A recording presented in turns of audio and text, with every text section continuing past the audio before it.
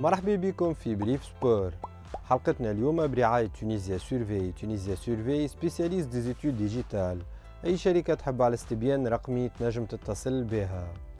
الجامعة التونسية لكرة القدم قررت رسميا المحافظة على نظام البطولة الوطنية في الموسم الجديد. باش يكون عندنا زوز مجموعات كل مجموعة فيها سبعة فرق ثلاثة فرق من كل مجموعة يترشحوا للبلاي اوف والبقية يلعبوا من أجل مرحلة تفادي النزول. أي أنه باش يلعبوا ستة فرق فقط من أجل التتويج بلقب البطولة مش كيما الموسم الفارط اللي تنافسوا فيه ثمانية فرق في البلاي اوف وثمانية في ال play-out في تقسيم زوز مجموعات باش يتم الاعتماد على ترتيب البطولة في الموسم الماضي لأنه في المجموعة الأولى باش نلقاو كل من النجم الساحلي النادي الإفريقي اتحاد بن قردان الأولمبي الباجي الملعب التونسي مستقبل سليمان وقوافل قفصة. وفي المجموعة الثانية باش يكون الترجي الرياضي التونسي الاتحاد المنستيري نادي الصفاقسي اتحاد تطاوين النادي البنزرتي نجم المتلوي ومستقبل المرسى.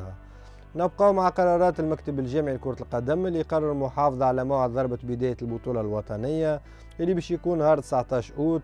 كما تم تعيين أنيس البوصعيدي على رأس الإطار الفني للمنتخب الوطني الأواسط ومحمد أمين النفاتي كمدرب المنتخب الأصاغر نحكي ميركاتو الهيئة التسييرية للنادي الإفريقي أتمت إجراءات التعاقد مع الظهير الأيسر السابق للنادي الصفاقسي محمد أمين الحمروني إلى غاية موفى جوان 2025 الحمروني كانت له اتصاليات مع نجم الساحلي والنادي الإفريقي وفي آخر المطاف خير الانتقال إلى فريق بيب جديد. هذا ونجحت هيئة الإفريقي كذلك في التعاقد مع الثنائي حسام الدين السويسي وأحمد الهمامي لمدة زوز مواسم في صفقة انتقال حر. الترجي الرياضي التونسي يواجه غدوة نادي أزام يونايتد التنزاني وديا في إطار تحضيرات الفريق البطولة العربية للأندية. المقابلة باش تنطلق مع الأربعة ونص متاع العشية بتوقيت تونس وباش تدور في ملعب رادس. ذكروا اللي الترجي باش يستهل مشواره في مجموعات البطولة العربية بمواجهة اتحاد جدة السعودي نهار الخميس 27 جويليا. النادي الصفاقسي أبرم البارح عقد استشهار جديد لمدة ثلاثة مواسم مع أحد الشركات المختصة في إيصال الطلبيات. ال CSS أصدر بلاغ شكر فيه المؤسسة هذه اللي وفرت مبلغ مالي إضافي على ما تم الاتفاق عليه في العقد.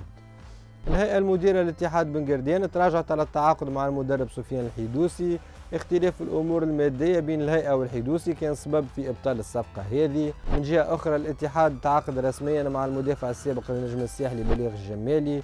بعقد مدة زوز مواسم كان هذا كل شيء في Brief Sport اليوم. الأخبار متواصلة على site تونيزيو نتقابلوا في مواعيد لاحقة bye bye الناس الكل